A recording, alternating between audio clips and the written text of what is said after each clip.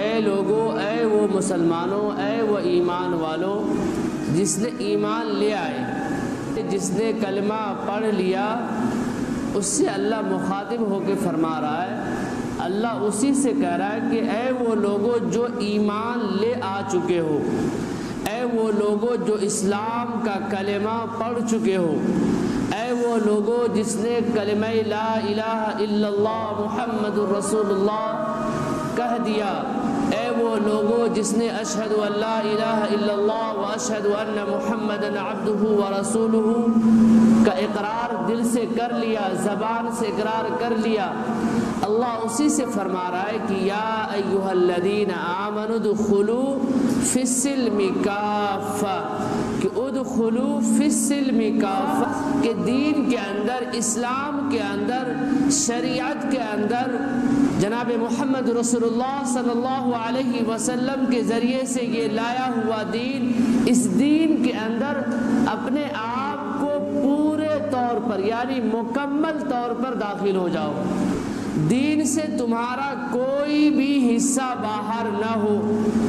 यानी तुम्हारा तुम्हारा जो कोई भी अमल है, तुम्हारी कोई हरकत है, तुम्हारी कोई ऐसी करतूत, तुम्हारी कोई ऐसी सोच जो इस्लाम के अंदर मना किया गया हो और वो तुम्हारे अंदर पनप रहा हो, वो तुम्हारे अंदर वो चीज़ें पल रही हो तो फिर अल्लाह ये इरशाद फरमा रहा कि वो सारी चीज़ों को छोड़कर तर्क करके इस्लाम के अंदर मुकम्मल तौर पे दाखिल हो जाओ। इस्लाम को अगर मानते हो तो पूरे तौर पर मानो।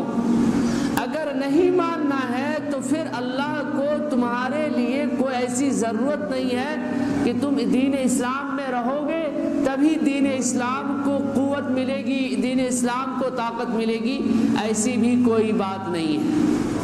दीन इस्लाम को अल्लाह गालिब करके रहेगा तो करके रहेगा। अल्लाह ने कुरान करीम के अंदर फरमा दिया कि युरीदून नूर मुतिम्मु नूरिही वलौ करिहल काफिरून। अरसल रसूलहु बिल हुदा व हक़्क़ लियुज़हिरहु अला दीन कुल्लिही वलौ करिहल काफिरून, वलौ करिहल मुशरिकून। कि देखो, ये दीन इस्लाम ज़ाहिर होकर रहेगा। ये हर जगह, हर गली गली में इस्लाम फैल कर रहेगा। चाहे काफिरों को, चाहे और दूसरे भाइयों को ये चीज़, ये फैलना नापसंद हो जाए। चाहे वो उसको नापसंद समझे, उससे अल्लाह को कोई मतलब नहीं। लेकिन दीन इस्लाम फैल कर रहेगा। गली गली में, चप्पे चप्पे में दीन इस्लाम फैल कर रहेगा। दीन इस्लाम का बोल बाला होकर रहेगा। दीन इस्लाम की हुक्मरानी आकर रहेगी ये कुरान करीम में अल्लाह ने इशाद फरमाया कि ऐसा मुमकिन ही नहीं हो सकता। अल्लाह फरमा रहा कि ऐसा मुमकिन ही नहीं है कि दीन इस्लाम गालिब न हो। दीन इस्लाम का गलबा ना आ जाए, अल्लाह इशाद फरमा रहा तो मैं ये कह रहा था कि जो लोग दीन इस्लाम को मान कर कलमा को मोहम्मद रसूलुल्लाह सल्लल्लाहु अलैहि वसल्लम को पढ़कर अगर वो अपने आप को पूरे तौर पर इस्लाम में दाखिल नहीं किए हुए हैं, आधा दीन को मानते हैं और आधा दीन को छोड़ देते हैं, ऐसे लोगों की दीन इस्लाम के अंदर कोई ज़रूरत नहीं। अल्लाह कुरान करीम के अंदर एक जगह और विशाल फरमाता है, अफतुमिनून किताबी बिबाद।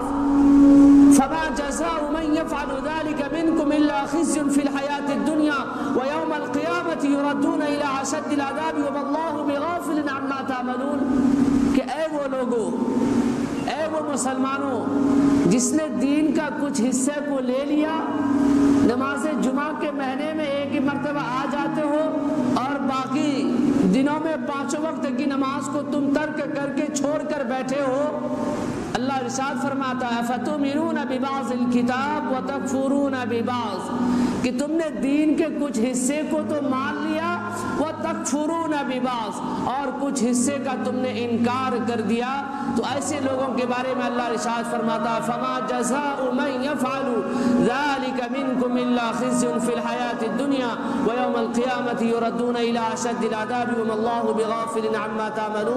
कि ऐसे लोगों के ऊपर अल्लाह दर्दनाक अजाब को मुसल्लत करेगा। वह अजाब अल्लाह उसको इस तरह से मुसलत करेगा कि अल्लाह उसको दुनिया के अंदर भी जलील करेगा और अल्लाह उसको मैदान हश्र के अंदर, क़यामत के दिन दर्दनाक आजाब उसके ऊपर मुसलत कर दिए जाएँगे। फमा जजा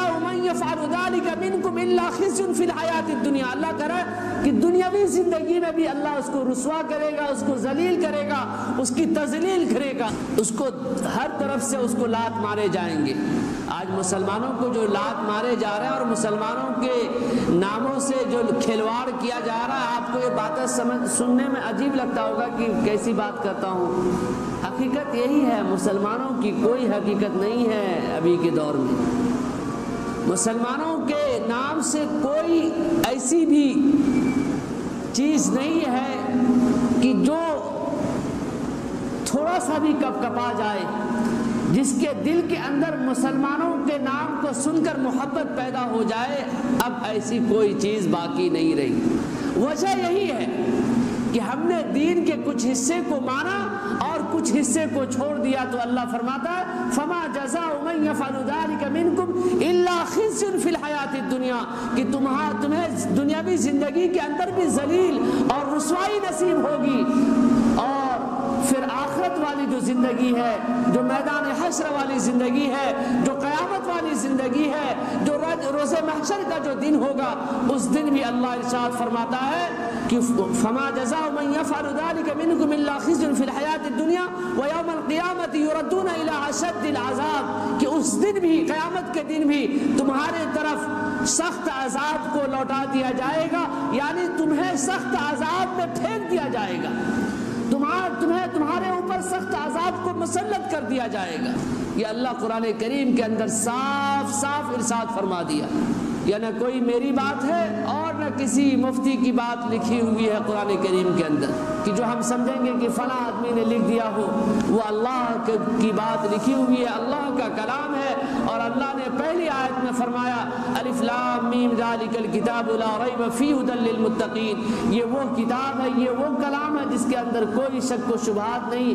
और मुत्तकीन के लिए, तकवा वालों के लिए हिदायत वालों के लिए इसके अंदर हिदायत की चीज़ है, इसके अंदर रहनुमाई की चीज़ है, जो चाहे उसको हासिल कर ले, जो चाहे छोड़ दे।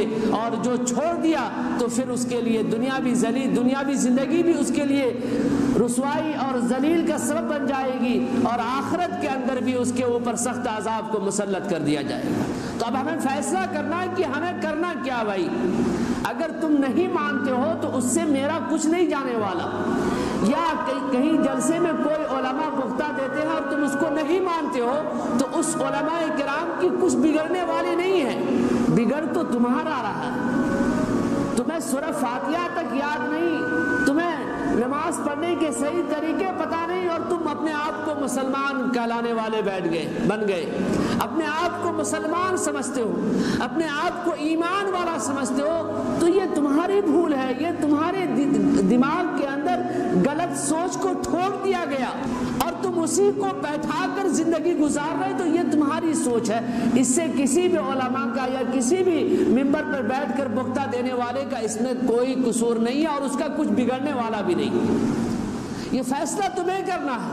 ये डिसीज़न तुम्हें करना है कि तुम मुसलमान हो कि नहीं हो। इस्लामी शरीयत को पूरा मानते हो या आधा मानते हो? तो फिर ये समझ लो कि जब तुम आधा मानते हो और आधा को छोड़ते हो तो फिर अल्लाह ने जो बताया कि दुनियावी ज़िंदगी में तुमको जलील और रुसवा किया जाएगा और मैदान हश्र में तुम्हारे ऊपर सख्त आज़ाद को मुसलत कर दिया जाएगा तो फिर इस फरमान को, इस ऐलान को सुनकर तुम तैयार रहो इसके लिए भी, कि दुनिया में भी तुम जलील रहोगे और आखरत के अंदर भी सख्त आजाब तुम्हारे ऊपर मुसलत कर दिए जाएँगे। वहाँ पर तुम्हारी कुछ भी नहीं चलेगी, वहाँ सिर्फ़ चलेगी अल्लाह की, चलेगी अल्लाह हाकिमीन अल्लाह इरशाद फरमाएगा है कोई यहाँ चलाने वाला? अरे दुनियावी ज़िंदगी में मस्जिदों में बैठकर बहुत कोई चलाया करते थे।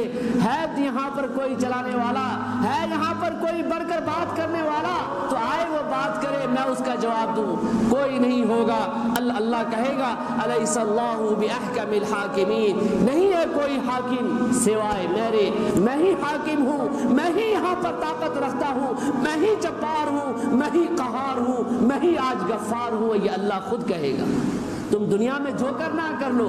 तुम अपनी ताकतों का इस्तेमाल करो। तुम अपने मालो दौलत का नाजायज इस्तेमाल करो। अपने बड़ी का इस्तेमाल करो। अपनी जबान का गलत इस्तेमाल करो। अल्लाह के रसूल सल्लल्लाहु अलैहि वसल्लम ने इशाद फरमाया, जो मेरा उम्मती जबान की और अपने शर्मगाह की हिफाजत करने की ज़िम्मेदारी मुझे दे दे, मैं उसके लिए जन्नत की ज़िम्मेदारी ले लेता हूँ। कौन मुसलमान है जो अपनी जबान को सही इस्तेमाल करता है? जहाँ चाहा जबान से जो बात आई, फ़ौरन निकाल दिया। अल्लाह के रसूल ने सहाबा को मुखातिब होकर फरमाया, ए सहाबा, तुम अपनी जबान की हिफाजत की गारंटी ले लो, गारंटी मुझको दे दो। अपनी शर्मगा की हिफाजत की गारंटी मुझे दे दो, जन्नत की गारंटी तुम मुझसे ले लो। ये दोनों चीज़ की हिफाजत करके तुम आओ और जन्नत में तुम्हें दूँगा, मैं इसकी गारंटी देता हूँ। ये अल्लाह के रसूल ने इशाद फरमाया, कितनी बड़ी बात कहकर दुनिया से चले गए। ये क्या वो बातें खत्म हो गई? नहीं, जब तक दुनिया कायम रहेगी, जब तक मुसलमान रहेंगे, जब तक उसकी उम्मत के मानने वाले रहेंगे, वो सारी बातें उस वक्त तक रहेगी। लेकिन मुसलमान नहीं समझता। और अल्लाह एक जगह इरशाद ये फरमाता है अशैतान याइदुकुमुल फक्र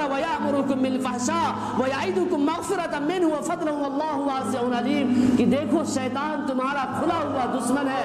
वो शैतान तुम्हें तुम्हारे दिलों के अंदर ये वसवसा डालता है, तुम्हें ये खौफ दिलाता है कि ऐ वो लोगों जो दीन इस्लाम को सिर्फ़ मानते हो हो सकता है कि तुम दीन इस्लाम को मानोगे, नमाजों की पाबंदी करोगे, तुम हराम काम की तरफ़ नहीं जाओगे, तुम नाजायज काम की तरफ़ नहीं जाओगे तो तुम भूखे मर जाओगे, तुम्हारे घरों में फाका कशी की नौबत आ जाएगी, तुम्हारे बच्चे भूख से मर जाएँगे।